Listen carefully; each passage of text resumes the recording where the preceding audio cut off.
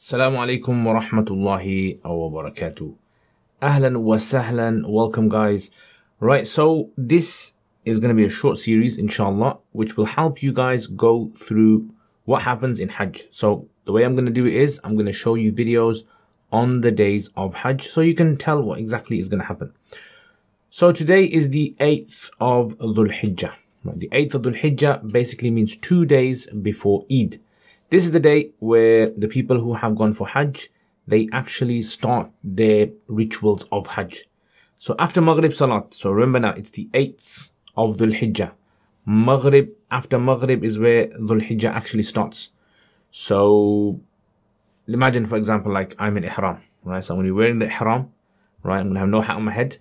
And I am going to perform the Tawaf. So this Tawaf is going to be the tawaf which initiates the Hajj.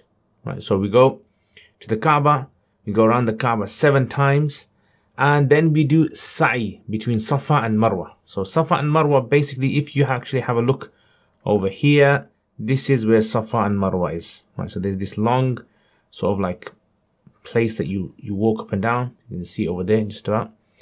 This is the place where you do the Hajj. I'm gonna see if I can find a better picture. Can't find a better picture. Okay, so you go there, you do the tawaf seven times, and then you go seven times up and down this like long lane, and um, and that's it. Once that is done, then after that you're gonna get your stuff, and you're gonna start to make your way to the tents of Mina. Right, so the tents of Mina is the next place that you're gonna go. Ideally, you get there at night time.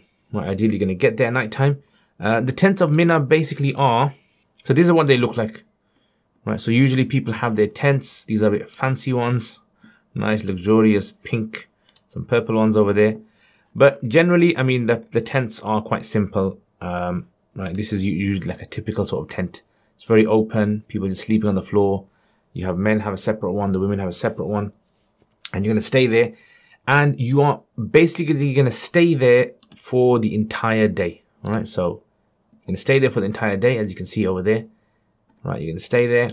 Um, and when you stay there, you are going to perform the normal rituals of reading Quran, doing the dhikr of Allah, praying in congregational prayer. That's all you do over there. There is no like special uh, things that you're going to do over there. And this is what you're going to be doing on the 8th. Okay, so if you're obviously watching this now and you're watching it on the 8th, then enjoy yourselves. May Allah accept your Hajj from you guys. And may remember us in your du'as as well. This is going to be performed all the way throughout the day.